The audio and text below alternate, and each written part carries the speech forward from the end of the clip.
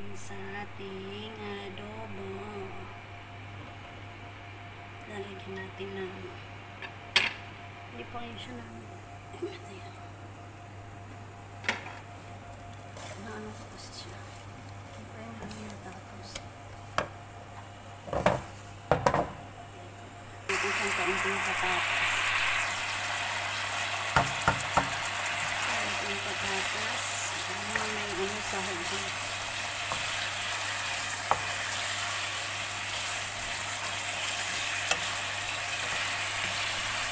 Ilang piraso lang naman yun.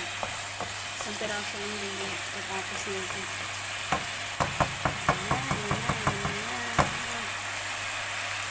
Ayan.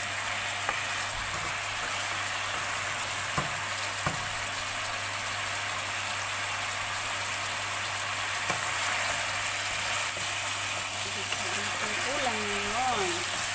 Kulang ngayon araw.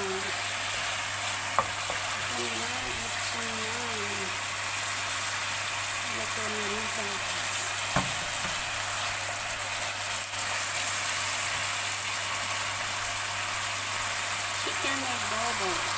Adobo.